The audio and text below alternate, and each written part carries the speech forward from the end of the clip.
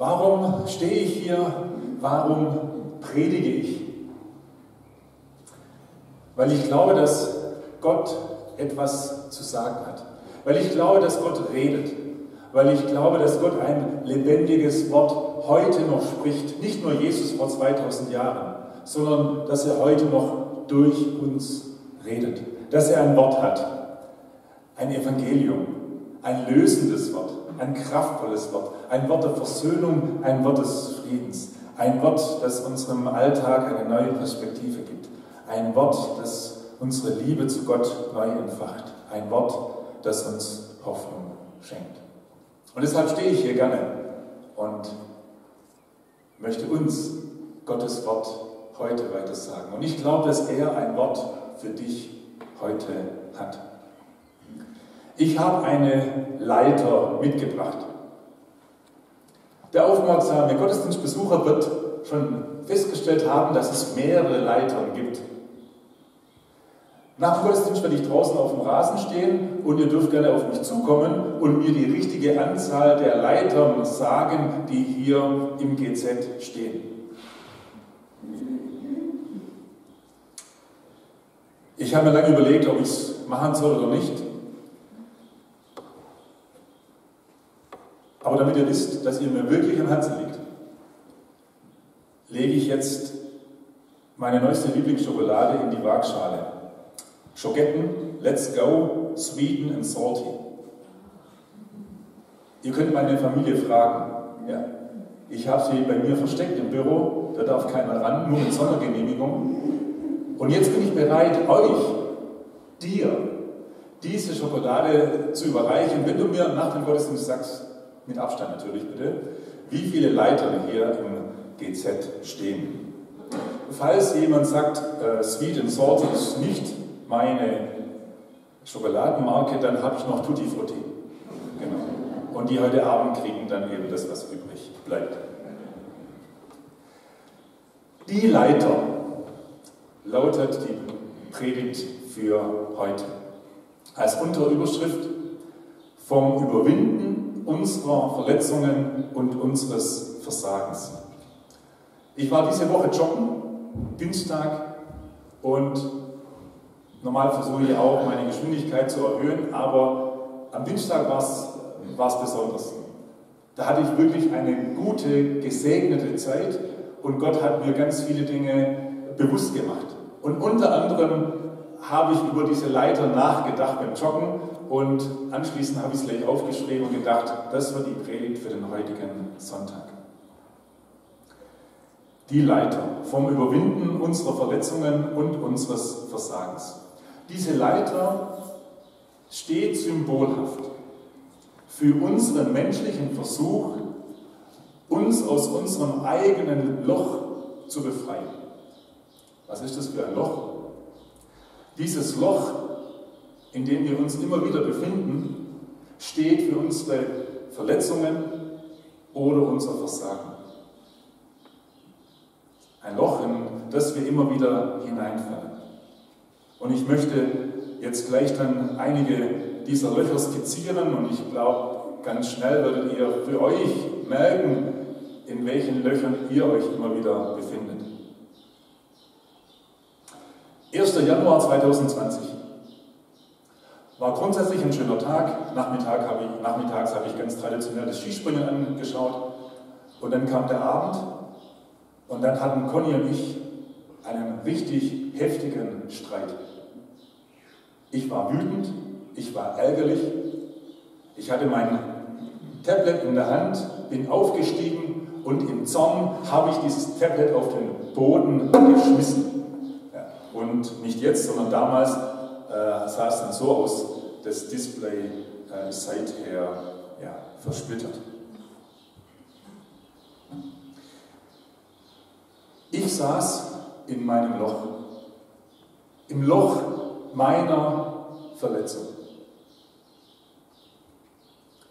Tapeziert, tapeziert, tapeziert äh, mit Tapeten meines Selbstmitleides.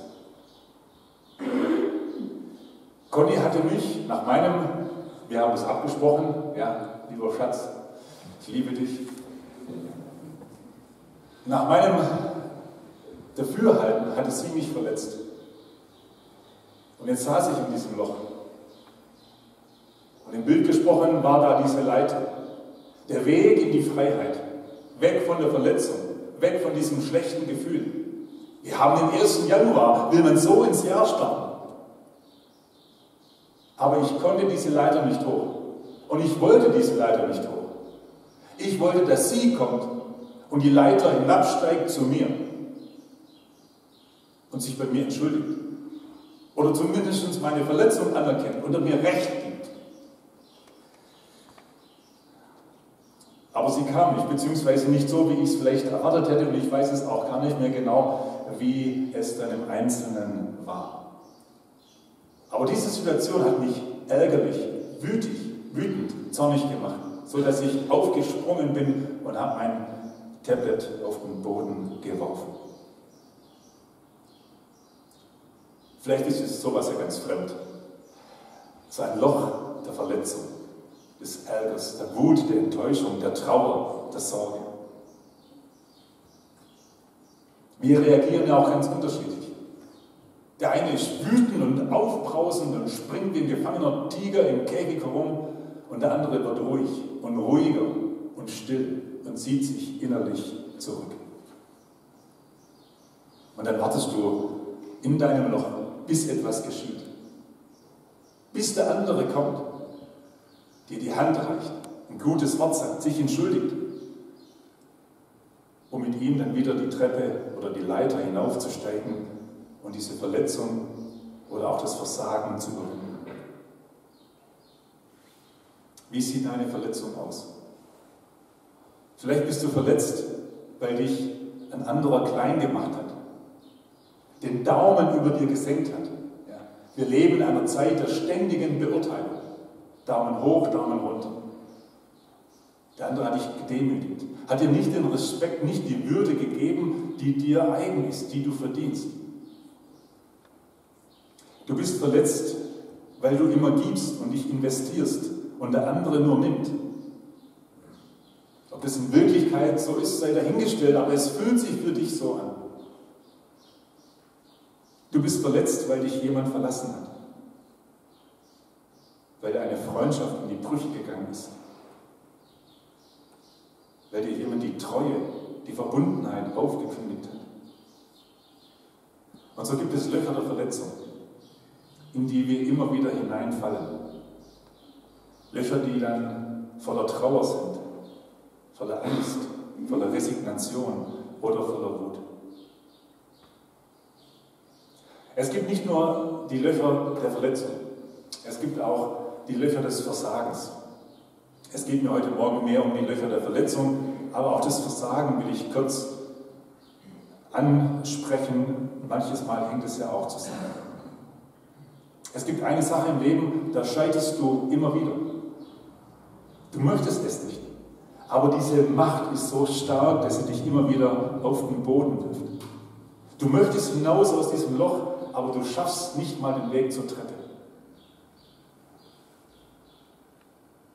Du weißt, wie deine Löcher des Versagens aussehen. Manchmal sind es einfach in Anführungszeichen nur schlechte Gedanken über andere, über dich selbst, Gedanke des, des Vergleichens. Der ist besser oder der ist schlechter. Manchmal sind es Gewohnheiten, die dir die Freiheit rauben. Eigentlich nichts Großes. Aber du kommst nicht davon weg. Du sitzt in deinem Loch und wünschst dir Veränderung. Du siehst diese Leiter und ab und zu versuchst du, die Leiter hinaufzugehen und manchmal klappt es für kurze Zeit und dann stürzt du wieder ab. Jetzt sitze ich also in meinem Loch der Verletzung. Manchmal verschuldet, manchmal unverschuldet. Und dann steht da diese Leiter. Die Leiter, die in die Freiheit führt. Du wünschst dir, da steigt jemand die Leiter herab. Entschuldigt sich bei dir, gibt dir Recht. Oder nimmt dich einfach nur wahr. Oder nimmt dich an. Aber da kommt keiner. Es kommt einfach keiner. Warum kommt keiner?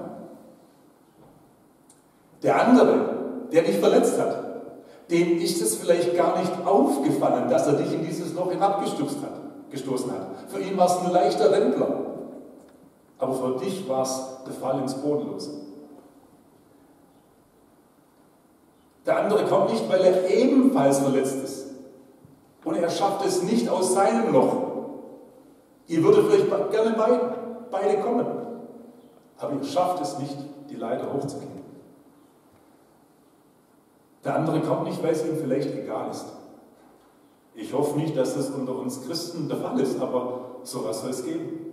Dem anderen ist einfach egal, ob du verletzt bist oder nicht. Oder den anderen gibt es nicht mehr. Ich denke an eine liebe, liebe Frau, die ich schon lange kenne. Sie hatte eine schwere, schwere Kindheit, ein schweres Elternhaus zu ertragen. Und es holt sie immer wieder ein. Aber die Eltern sind schon lange, schon lange tot. Sie verursachen immer noch Verletzungen in ihrem Leben. Aber sie werden auch definitiv nicht kommen, weil sie nicht können.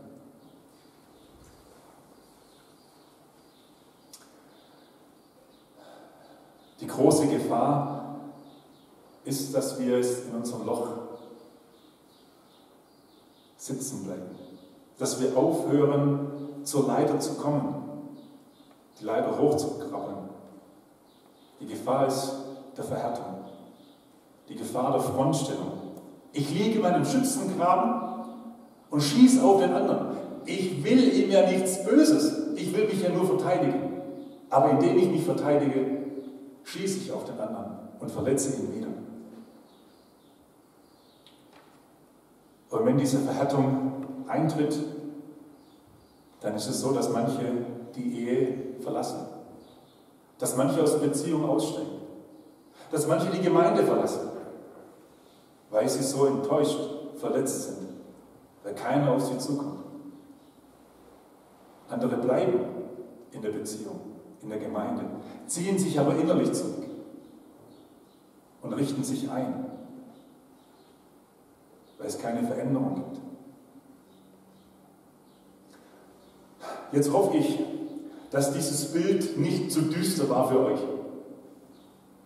Aber ich glaube, es ist einfach unsere Realität, unsere Wirklichkeit.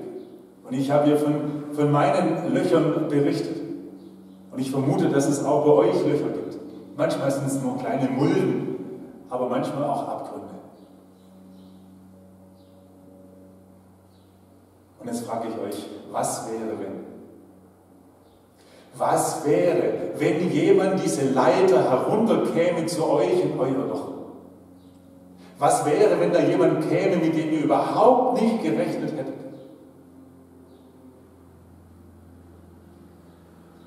Und das ist das Wort. Die gute Nachricht, die Gott dir heute Morgen zuspricht. Und Gott sagt dir, ich steige diese Leiter zu dir hinab. Deshalb bin ich Mensch geworden, um zu dir zu kommen. In dein Leid, in deine Verletzung, in deinen Ärger, in deine Wut, in dein Versagen, in deine Schuld, was es auch immer ist. Ich komme zu dir. Die Lösung ist, dass Gott uns erlöst. Er steigt herab, damit wir hinaufsteigen können. Ein Bibelvers, der mich da in besonderer Weise immer wieder anspricht, steht in Matthäus Kapitel 20, Vers 28. Der Menschensohn ist nicht gekommen, dass er sich dienen lasse, sondern dass er diene und gebe sein Leben zu einer Erlösung für viele. Er schenkt uns sein Leben, damit wir erlöst werden. Ja, von was? Dass wir erlöst werden von der Sünde, die ganz unterschiedliche Bilder hat. Eben sich in Verletzungen und Versagen zeigt. All das, was nicht dem Leben dient, was uns gefangen nimmt, was uns klein macht, was uns bindet, was uns von Gott und den Menschen, den Mitmenschen abhält. Dafür ist er gekommen. Dafür hat er sein Leben gegeben, uns davon zu erlösen. Und diese gute Nachricht, dieses Evangelium will ich uns in, in drei Teilen kurz vor Augen führen. Der erste Teil des Evangeliums lautet, er liebt mich bedingungslos. Jesus steht jetzt nicht oben an der Kante meines Lochs und sagt, komm Frank, steig die Leiter hoch, reiß dich zusammen, beeil dich, lass dich nicht hängen, mach schon. So bin ich oft. Dass ich den anderen annehme, wenn er meine Bedingungen erfüllt. Aber so ist Gott nicht. Er steigt die Leiter hinunter. Er kommt zu mir.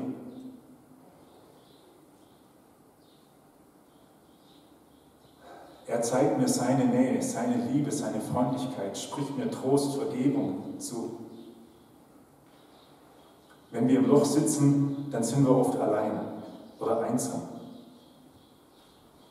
Und dann fragst du dich vielleicht auch nicht nur, wo der andere ist, sondern wo ist Gott? Und dann sage ich dir, Gott ist bei dir.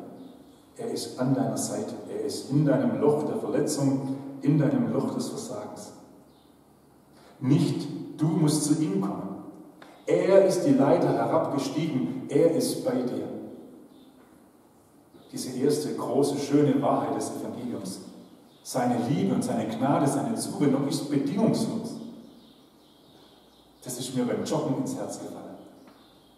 Wie oft ich Bedingungen an andere stelle. Wenn andere so wären oder wenn die Gemeinde so wäre, ja dann hätten wir was am Start. Und dann ist mir groß geworden, Gott ist anders. Er steigt die Treppe zu mir herab. Er nimmt mich so an und holt mich dort ab, wo ich bin. Der zweite Teil des Evangeliums. Er hat mir bereits vergeben. Und er spricht in mein Leben, du bist frei.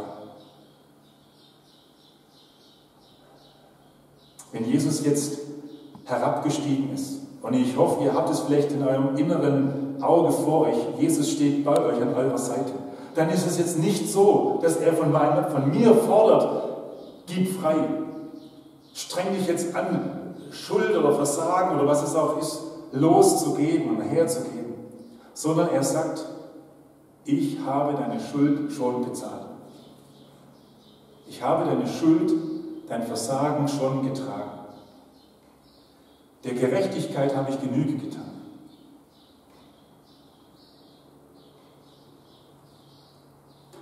Eine kleine Veranschaulichung. Stell dir mal einen Beziehungskonflikt vor. Manche brauchen viel Fantasie, andere weniger. Und stell dir diesen Beziehungskonflikt als Autounfall vor. Es crasht zwischen dir, deinem Ehepartner, deinem Nachbarn oder wem auch immer.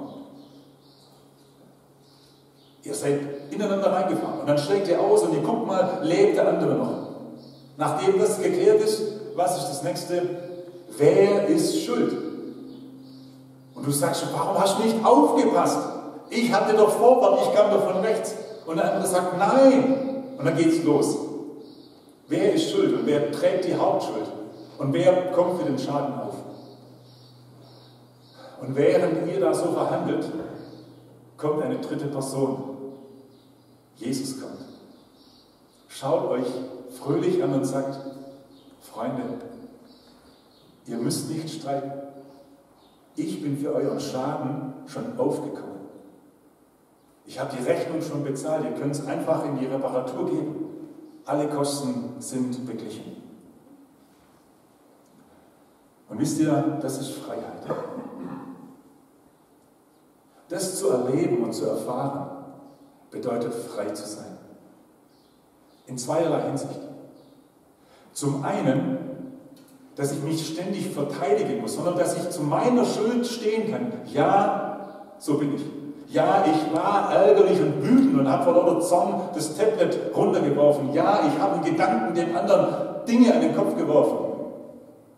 Ja, so bin ich. Und die andere Seite dieser Freiheit bedeutet, ich muss dem anderen seine Schuld nicht hinterhertragen, bis er sie endlich einzieht, bis er mir endlich Recht gibt, bis er sich endlich bei mir entschuldigt. Denn der Gerechtigkeit wurde schon Genüge getan. Jesus hat diese Schuld schon bezahlt. Er hat sie schon beglichen. Ich muss nichts mehr hinterhertragen. Die Schuld ist weg.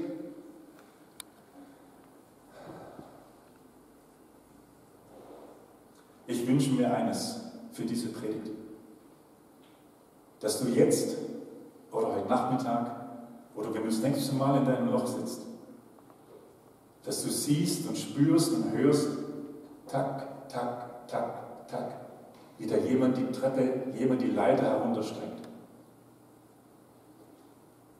Und dass Jesus an deiner Seite steht, dich nicht verurteilt und dir sagt, du bist frei. Du bist frei. Und dass er die Gewalt dieser Worte in euch spürt. Der eine mag dann ruhig hinsitzen und sich einfach freuen und der andere wird herumspringen im Viereck und einfach hüpfen und sagen Halleluja. Und wenn Jesus sagt, du bist frei, dann sagt er, und jetzt Frank, gib her. Ich habe das ja schon getragen. Lass los. Dein Ärger, dein Zorn, deine Verletzung, gib's mir. Ich mache dich frei von dem, was dich bindet.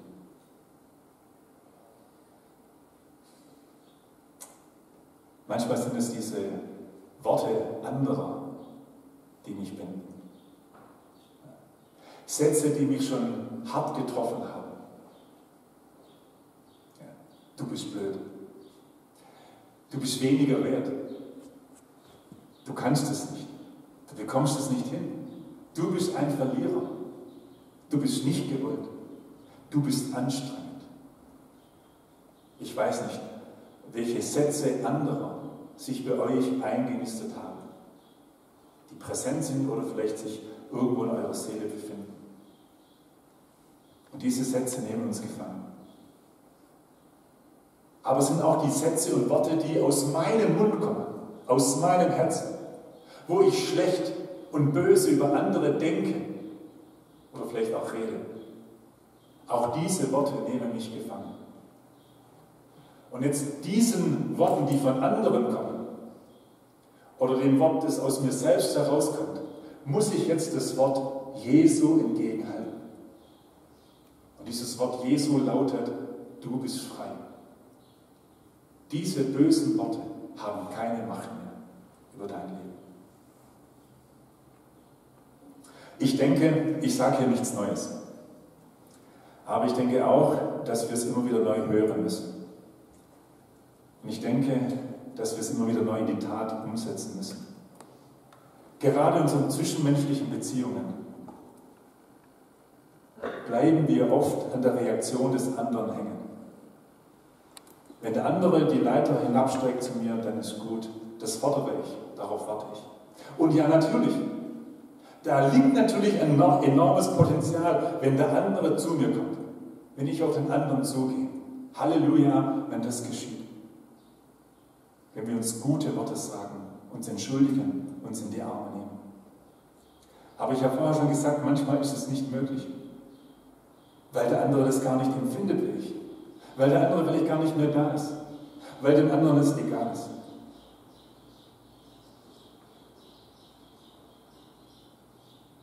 Und dann, es ist gut, wenn der andere kommt. Aber es reicht nicht aus. Was der andere mir geben kann, ist, ist wie eine gute Salbe, ein Pflaster. Aber der Schmerz, den der andere verursacht hat, er geht oft tiefer. In den aller, allermeisten Fällen ist da noch etwas im Untergrund. Ich hatte einen Autounfall. Ich bin jemand mit meinem, Entschuldigung, mit dem Citroën meiner Frau, äh, bin ich jemand auf seinen Mercedes aufgefahren. Es war nass. Und ich war schuld. Bin ausgeschieden, habe mich entschuldigt. War eindeutig. Zu dicht aufgefahren, konnte nicht mehr bremsen, zack, hinten drauf. Das war so klar. Und dann habe ich diese Riesendelle gesehen in seiner Stoßstange. Adressen ausgetauscht, Jetzt wollte meine Versicherung nicht bezahlen. Er hat mir angerufen, gedroht, es kam vor Gericht. Und wisst ihr, was sich herausgestellt hat? Diese Riesendelle, die war vorher schon drin. Ja, ich bin ihn hinten drauf gefahren. Aber diese Riesendelle, die er mir anhängen wollte, die war schon lange drin. Der Richter hat mich sogar verspottet. Mein Zitronen könnte doch bei diesem Mercedes das gar nicht verursachen. Danke fürs Gespräch. Aber ich war natürlich erleichtert. Bin ohne Schuld, ohne dass ich irgendwas bezahlen musste, hinausgegangen. Und ich glaube, so ist es ganz oft auch, dass wir den anderen hinten drauf fahren. Und ja, wir haben da was falsch gemacht. Aber da gibt es noch einen Schmerz, eine Verletzung, die viel tiefer geht. Und die Bibel nennt es Sünde. Das, was uns trennt von Gott, das ist so tief in uns drin. Es gut, wenn der andere, gut und richtig, wenn der andere sich entschuldigt, wenn ihm das bewusst ist. Aber es, es, es braucht noch mehr. Der Schmerz sitzt tiefer. Es braucht jemand, der mir hilft, diesen tiefen Schmerz zu heilen. 1. Januar, Conny und ich, das war damals kein leichterer Tag, aber wir haben uns versöhnt. War alles wieder gut, Sonnenschein, glücklich. Und dann kam sie irgendwann auf diese glorreiche Idee, wie wäre es denn, wenn wir auf einen Eheworkshop gehen würden? Ja, nach dieser, dieser Aktion konnte ich schlecht Nein sagen. Habe es versucht, aber. Ja. Und da sind wir hingegangen. Als fröhliches Ehepaar war alles gut. Und dann gab es aber eine Situation oder zwei Situationen, wo, wo Gott bei Conny und bei mir was ganz tief angerührt hat. Er mir die Augen geöffnet hat, wie ich Conny über Jahre hinweg einen Schmerz zugefügt habe, den ich gar nie wahrgenommen habe. Den ich gar nie wahrgenommen habe, obwohl ich sie liebe. Und erst als das an der Oberfläche war, konnte ganz viel Heilung in unsere Beziehung hineinkommen. Es ist gut, wenn wir Hilfe in Anspruch nehmen, Seelsorge, Lebensberatung, äh, eine gute Freundschaft. Aber in diesen tiefsten Schmerz kommt nur Gott, unser Heiland, der mir sagt, Frank, du bist frei. Du kannst es loslassen. Das Evangelium dritten Teil, ganz kurz, ist folgenreich. Jesus sagt, jetzt fand los, steig mit mir die Leiter hinauf. Biblisch korrekt wäre zu sagen, ähm, nicht nur, dass Jesus mich an der Hand nimmt, sondern dass er in mein Leben kommt, dass wir gemeinsam diese Leiter hinauf, hinaufsteigen. Zwei Dinge will ich an dieser Stelle zum, zum Ende sagen. Zum einen, schau, dass du so schnell wie möglich aus deinem Loch herauskommst. Richte es dir in deinem Loch nicht ein. Pflege dein, deine Verletzungen nicht mit Selbstmitleid. Und befeuere auch deinen Geist nicht mit Rachegedanken. Wenn du im Loch sitzt, schau, dass du herauskommst. Und wie? Nicht aus eigener Kraft, sondern indem du auf Jesus schaust. Dass du siehst, wie er zu dir kommt. Er sich an deine Seite stellt. Wie du diese Worte hörst, du bist frei, ich habe für dich schon bezahlt. Und wie er dir die Hand reicht und sagt, jetzt lass uns gemeinsam die Leiter hinaufgehen. Und das Zweite, übe dieses neue Leben ein. Deine neuen Gedanken brauchen ein Übungsfeld. Den anderen zu sehen, ihm Gutes zu tun. Kürzlich hat mich auch eine, äh, das Verhalten einer Person verletzt. Die ist nicht hier in der Gemeinde. Conny hat es mitgekriegt. Und mittlerweile ist es, denke die Person denkt, weiß, hat es wahrscheinlich gar nicht mitgekriegt, was ihre Aussage bei mir ausgelöst hat. Und ich denke, es ist gut. Und es sagt aber Conny heute Morgen, äh, Frank, schreib doch dieser Person eine Mail und sag ihr was Gutes. Und das habe ich jetzt auch getan. Ja. Dieser Segen Gottes, der durch uns hindurchfließt, braucht neue Bahnen, neue Wege. Beginne dem anderen Gutes zu sagen, Gutes zu tun. Die Leiter. In unserem Alltag braucht man immer wieder Leiter, um Krise zu brechen oder irgendwas zu putzen im Haushalt oder um die Schokolade vor Kindern zu verstecken. Und ich wünsche mir, dass, wenn ihr das nächste Mal eine Leiter seht, ihr an diese Predigt denkt. wenn du im Loch sitzt, Jesus kommt zu dir in ein, in ein Loch und sagt du, dir, du bist frei. Steig mit mir hinauf. Amen. Ich freue mich, wenn wir jetzt gemeinsam das Lied hören und im Herzen singen. Ah, jetzt wäre eigentlich von meiner Seite schon ganz zum Schluss, aber. Sonst könnte ich jetzt auch beten und wäre euch es lieber. Mir wäre es andersrum lieber, aber ich will meiner Frau gerade heute dieser Predigt Also dann äh, bete ich mit uns und spreche uns Gottes Segen zu. Ja, Jesus Christus, irgendwie mag ich jetzt gar nicht mehr groß viel beten, sondern einfach dich nur bitten, dass du dich jedem von uns hier offenbarst. Du siehst unsere Löcher der Verletzung und des Versagens und dass wir dich darin erleben und dass unser Leben neu und heil wird, ein und das andere Mal. Danke, dass du uns schon so viel gegeben hast, uns persönlich, aber auch dieser Gemeinde, den Christen hier am Hort. Und Herr, das ist unser Wunsch. Ähm, es gibt so viele Menschen um uns herum, denen es genauso geht, die auch auf Hilfe und Heilung und Errettung und Neuanfang angewiesen sind. Wie viele Beziehungen scheitern, wie viele Ehen gehen in die Brüche. Herr, wir brauchen dich. Und so äh, wirke du unter uns und dass wir dann aber auch das weitersagen, dass du unser Heiler bist und dass du jemand bist, der mehr gibt als eine Salbe oder ein Pflaster, sondern wirklich die Dinge neu machst in unserem Leben. Und das wirke du in uns und segne uns dazu.